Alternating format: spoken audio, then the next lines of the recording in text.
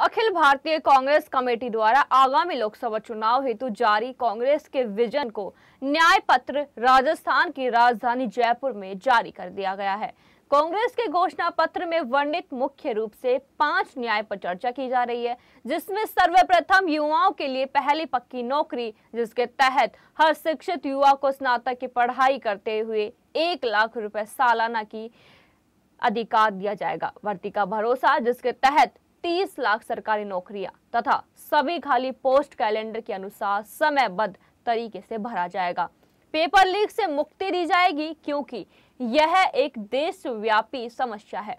विभिन्न प्रदेशों में पेपर लीक के कारण भर्ती परीक्षाएँ रद्द हो रही हैं, जिसमें राजस्थान, उत्तर प्रदेश, गुजरात, मध्य प्रदेश, मिजोरम सहित अनेक प्रदेशों में हाल ही में पेपर लीक के कारण भर्ती परीक्षाएँ रद्द हुई है। कई सालों से प्रश्न पत्र लीक हुए हैं और युवाओं का भविष्य बर्बाद हो रहा है। राजस्थान में पेपर लीक हुए, हमारी पूर्ववर्ती सरकार पर आरोप लगे, उसके पश्चात केंद्र सरकार की परीक्षाओं के पेपर लीक हुए और हाल ही में उत्तर प्रदेश, जहाँ 55 लाख अभ्यर्थियों ने परीक्षा दी, वह पेपर लीक होने के कारण परीक्षा रद्द हुई। पेपर लीक होने के पश्चात दोषियों को सजा देने के लिए सर्वप्रथम राजस्थान में कड़ा कानून बना, जिसके तहत दोषी पर भारी पेनल्टी के साथ आजीवन कारावास का प्रावधान कर रखा है। किंतु अब कांग्रेस पार्टी द्वारा कानून लगाकर इस तरह का मैकेनिज्म तैयार किया जाएगा, जिसके तहत पेपर लीक ही ना हो। उक्त विचार राजस्थान प्रदेश कांग्रेस कमेटी के अध्यक्ष गोविंद सिंह डोटासरा ने प्रदेश कांग्रेस मुख्यालय जयपुर पर आयोजित प्रेस वार्ता को संबोधित करते हुए व्यक्त किए। उन्होंने कहा कि सोशल मीडिया पर अनेक भ्रांतियों के तहत पेपर लीक होने के आरोप लगाए गए। किंतु समझने की आवश्यकता है कि पेपर लीक होने के पश्चात सजा देने के लिए कानून तो बन गए, परंतु पेपर लीक ही ना हो, ऐसा मैकेनिज्म बनाने हेतु कानून लाया जाएगा, ताकि पेपर लीक ना हो।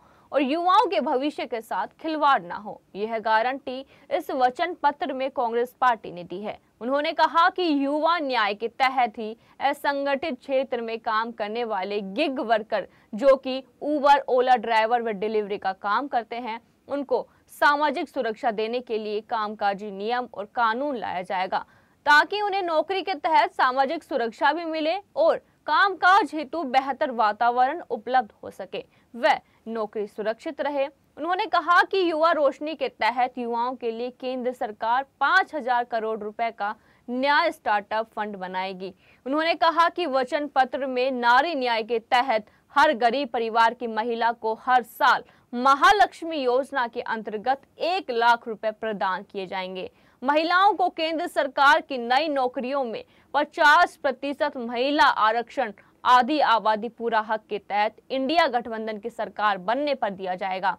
उन्होंने कहा कि कांग्रेस ने गारंटी दी है कि शक्ति का सम्मान करते हुए आशा सहयोग ने मिड डे मील व आंगनबाड़ी कार्यकर्ताओं को ज़्यादा वेतन मिले तथा दुगने सरकार योगदान से उनको सशक्त करने का कार्य किया जाएगा। उन्होंने कहा कि महिलाओं को कानूनी हक और सरकारी योजनाओं की जानकारी देने वाले एक अधिकार, सहेली, हर पंचायत में अधिकार मैत्री के तहत नियुक्त की जाएगी और कामकाजी महिलाओं के लिए सावित्री बाई फूले हॉस्टल दुगुने खोले जाएँगे। डोटासरा ने कहा कि राजस्थान में पूर्ववर्ती कांग्रेस सरकार ने कानून बनाया था कि न्यूनतम पेंशन सहायता राशि एक हज़ार होगी तथा हर वर्ष उसमें 15 प्रतिशत की बढ़ोतरी की जाएगी। उसी आधार पर वर्तमान बीजेपी सरकार ने पेंशन को बढ़ाकर ग्यारह रुपए देने की घोषणा की है। उन्होंने कहा कि पूर्ववर्ती कांग्रेस सरकार द्वारा कानून बनाने के पश्चात अब यह बढ़ोतरी आवश्यक है और किसी को भी मांग करने की ज़रूरत नहीं रहेगी। इसी तरह केंद्र में सरकार बनने पर मानदेय बढ़ाने के लिए कानून लाया जाएगा। उन्होंने कहा कि किसानों को सही दाम मिले, एमएसपी की कानूनी गारंटी दी जाएगी और स्वामीनाथन आयोग की रिपोर्ट में वर्णित फॉर्मूले के तहत एमएसपी मिल सके, इसके लिए कानून बनाया जाएगा।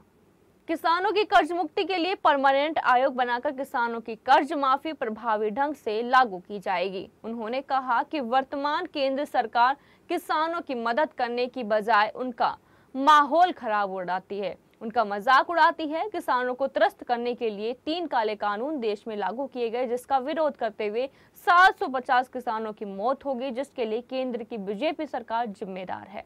उन्होंने कहा कि कांग्रेस के न्याय पत्र में गारंटी दी गई है कि किसानों को फ़सल नुकसान पर 30 दिन के अंदर बीमा भुगतान का सीधा ट्रांसफ़र उनके खाते में किया जाएगा। किसानों के लिए उचित आयात निर्यात नीति बनेगी तथा जीएसटी मुक्त खेती हो, यह वचन कांग्रेस देती है। जिसके तहत कृषि के लिए सभी आवश्यक वस्तुओं से जीएसटी हटेगा। उन्होंने कहा कि श्रमिक न्याय के तहत श्रम का सम्मान करते हुए न्यूनतम दैनिक मजदूरी चार सौ रुपए कम से कम होगी। यह मनरेगा में भी लागू होगी। उन्होंने कहा कि राजस्थान में पूर्ववर्ती कांग्रेस सरकार ने सभी को 25 लाख रुपए का स्वास्थ्य का अधिकार निशुल्क इलाज प्रदान किया था।